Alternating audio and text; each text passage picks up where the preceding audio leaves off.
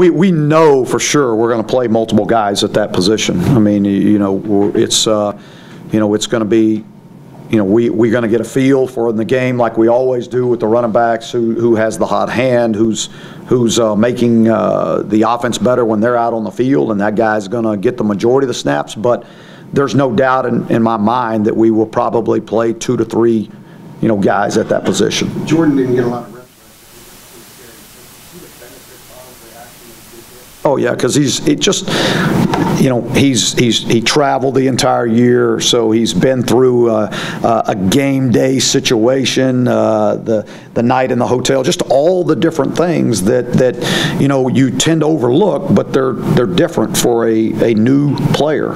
And so from every aspect, from, you know, the bus ride from the hotel to the, you know, to the victory walk, the victory walk into the stadium, the state, what you do in pregame, your personal plan, how you prepare yourself for the game. You know, all those things that you, you know, for me, I worry about for, for every one of these guys, you know, until they get some experience and they've done it.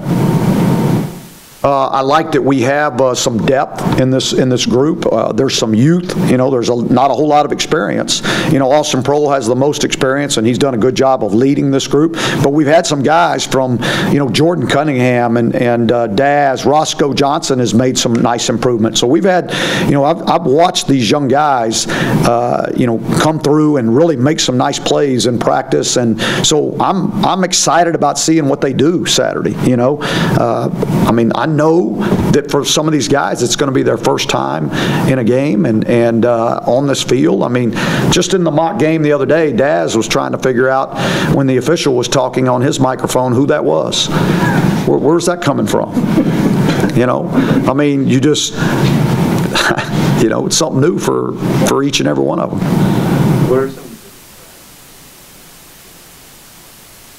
Uh, Anthony's, you know, one of the most talented guys that we have at the receiver spot when you just look at overall athletic ability, speed, uh, just ability. And he has really come a long way. I mean, because now he really starting to understand the receiver position.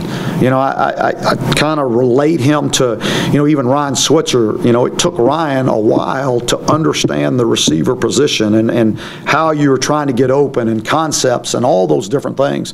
And he became really good at it. And, and now you're starting to see Anthony turn that corner on, you know, what it means to be a receiver and how I have to practice each day and, and how I'm trying to attack the secondary and how I'm trying to get open on this man that's covering me. So I think he's made a lot of improvement.